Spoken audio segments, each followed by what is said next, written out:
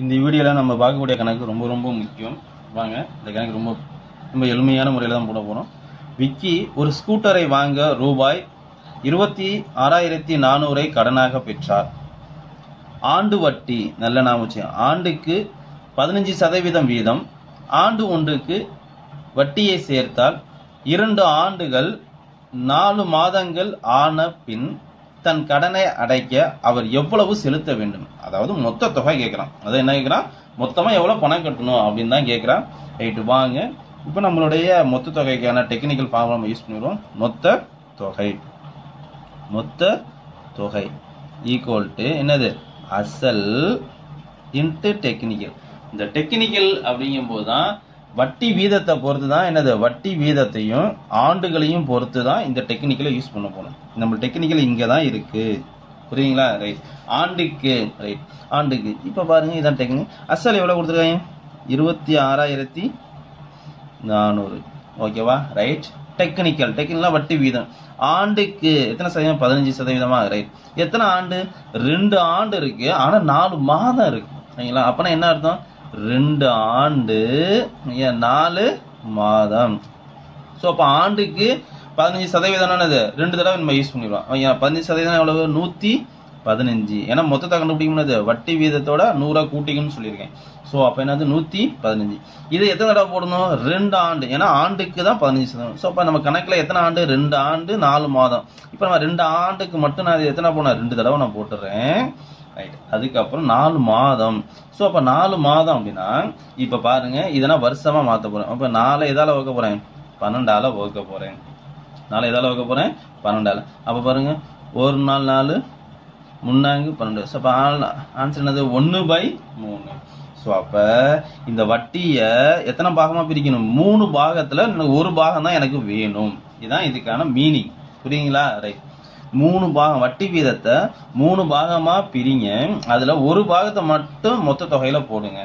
So அப்ப மூணு பாகமா பதினஞ்சு மூணு பாகம். அப்படின்னா என்னது? அஞ்சு அஞ்சு அஞ்சா? அப்படி தெரியலன்னு பதினஞ்சு மூணால வகுத்தணும் எவ்வளவு?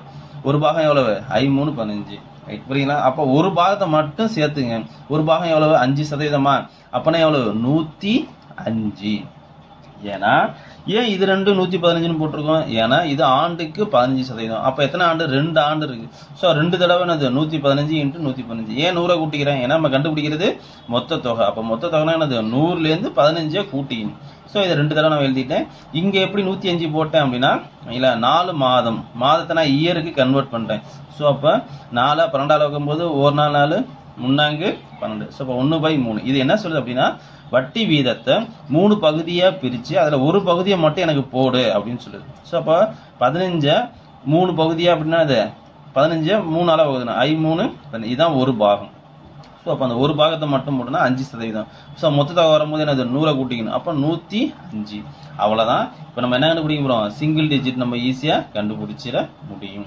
ஸோ அப்போ அவன் என்ன கொஸ்டின் கேட்குறான் அப்படின்னா மொத்த தொகை தான் கேட்குறான். பிரச்சனையே இல்லை. அவங்க மொத்தமாக எவ்வளோ பணம் கொடுக்கணும்? ஸோ அப்போ இதில் பார்ப்போம் வாங்க. இங்கே ஆறு நாலும் பத்து பன்னெண்டு இல்லை அப்போ என்னது என்னது? மூணு. புரியுங்களா இதோட சிங்கிள் டிஜிட் என்னது? மூணு. இங்கே ஆறு ஏழு. என்னது? ஏழு. இங்கே என்னதான் வரும்? ஏழு. இங்கே ஆறு. புரியுங்களா ரைட் வாங்க. ஸோ அப்போ ஏழு ஏழு நாற்பத்தி ஒம்பது. ஸோ இதை கூட்டினானது பதிமூணு. ஐயா சிங்கிள் டிஜிட் தான் எனக்கு வேணும். அப்போ இதை பாருங்கள் இது என்னது? நாலு. இன்ட்டு ஆறு. இல்லை மூணு இன்ட்டு. புரியுங்களா ரைட் சிங்கிள் டிஜிட் மட்டும் ஃபாஸ்ட்டாக கொஞ்சம். இங்கே முன்னாங்க பன்னெண்டு. இங்கே என்னது? மூணு. புரியுங்களா ரைட் இங்கே ஆறு. ஆறு மூணு பதினெட்டு. ஸோ சிங்கிள் டிஜிட் அது ஒம்பது. ஸோ ஆன்சர் யார் ஒம்பது வராங்களோ அதான் என்னது? ஆன்சர் மொத்த தொகை ஓகே மொத்த தொகை தான் கேட்டோம். ஸோ மொத்த தொகை தான் என்னது? ஆப்ஷன் நான் கொடுத்துருப்போம். ஸோ இப்போ யார் சிங்கிள் டிஜிட்டில் ஒம்பது வருதோ அதான் என்னது? ஆன்சரு புரியுங்களா ரைட்டு வாங்க பார்த்துருவோம் யார் வராங்கன்னு. ஸோ கீழே உள்ளது தான் அந்த மொத்த தொகை. நமக்கு சிங்கிள் டிஜிட் என்ன ஆன்சர் வந்து ஒம்பது வரணும். இதில் யார் ஒம்பது வராங்களோ அதான் ஆன்சர் வைங்களா மூணு ஆறு ஒம்பது கேன்சல் ஆகிடுச்சு ஏழு ஒன்று எட்டு எட்டு ஒன்று ஒம்பது கேன்சல் ஆகிடுச்சு ஸோ சிங்கிள் டிஜிட் இது அஞ்சு. நமக்கு என்ன ஒன்று சிங்கிள் டிஜிட் ஒம்பது வரணும். ஸோ அப்போ இது கிடையாது. ரைட் அடுத்து பாருங்கள் மூணு ஆறு ஒம்பது கேன்சல் ஆகிடுச்சு இங்கே ஒரு ஒம்பது கேன்சல் ஆகிடுச்சு இங்கே எவ்வளோ பதினொன்று பதினொன்று ஏழு எவ்வளோ பதினெட்டு. ஸோ அப்போ சிங்கிள் டிஜிட் என்னது? ஒம்பது நமக்கு சிங்கிள் டிஜிட் என்னது? ஒம்பது ஒன்று ஸோ ஆன்சரு இதுதான். புரியுங்களா அப்போ எவ்வளவு? முப்பத்தி ஆறாயிரத்தி அறநூற்றி ஐம்பத்தி ஒம்பது புள்ளி ஏழு ஜீரோ. புரியுங்களா நம்ம ட்ரெடிஷ்னலாக போட்டால் ரொம்ப நேரம் ஆகும். சரிங்களா கண்டிப்பாக நிறைய நேரம் எடுத்து நம்ம பெருக்கில் தப்பு பண்ணிடுவோம். சரிங்களா ஸ்தானத்தில் தப்பு பண்ணிடுவோம். புள்ளி வைக்கிறதுல தப்பு பண்ணிடுவோம். ஸோ அப்போ ரொம்ப எளிமையான டிஜிட்டல் மெத்தடில் காம்பவுண்ட் இன்ட்ரெஸ்ட் ரொம்ப ரொம்ப ஈஸியாக போடலாம். புரியுங்களா வாங்க இது நம்ம செக் பண்ணிடுவோம். பாருங்கள் மூணு ரெண்டு அஞ்சு அஞ்சு நாலு ஒம்பது கேன்சல் ஆகிடுச்சு இங்கே ஒன்று ரெண்டு மூணு மூணு ரெண்டு அஞ்சு. நமக்கு சிங்கிள் டிஜிட் என்ன வரும். ஒம்போதான் வரும். ஸோ அப்போ இது கிடையாது. புரியுதுங்களா? ரைட் ரொம்ப ரொம்ப முக்கியமான கணக்கு. பிடிச்சிருந்தா சப்ஸ்கிரைப் பண்ணுங்கள் ஷேர் பண்ணுங்கள் கமெண்ட் பண்ணுங்கள் தேங்க்யூ